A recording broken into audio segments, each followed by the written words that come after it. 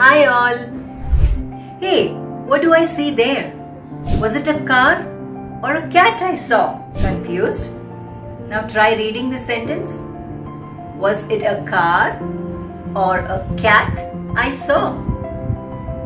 Did you get it? Now try reading it backward. Was it a car or a cat I saw? What are these? These are palindromes.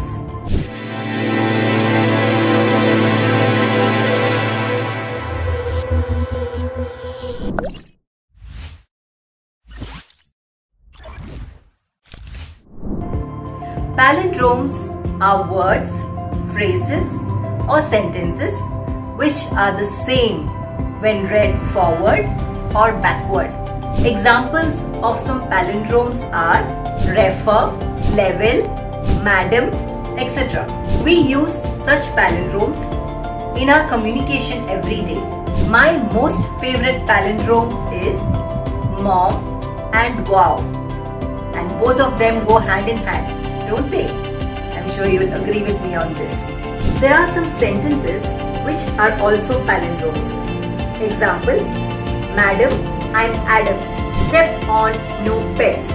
Never odd or even. These are some sentences which are the same when read forward or backward. Do you know there are palindromes in numbers too?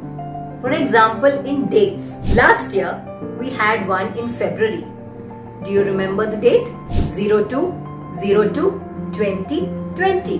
Hey folks, we had one this year too in February 12 02 2021. Some people consider these as lucky and they keep their life events on such dates because it is considered very lucky for them. So there are palindromes in numbers too. Here is an interesting fact. The language Malayalam, which is an Indian language, is also a palindrome. It is the same when spelled forward or backward. M A L A Y A L A M. Now this is also one of the longest palindromes in the English language. Here is a riddle for you. Can you name a vehicle which is also a palindrome? Hey, if you have the answer to this, please type it in the comment section below. Hope you found this topic to be interesting. See you again with another topic.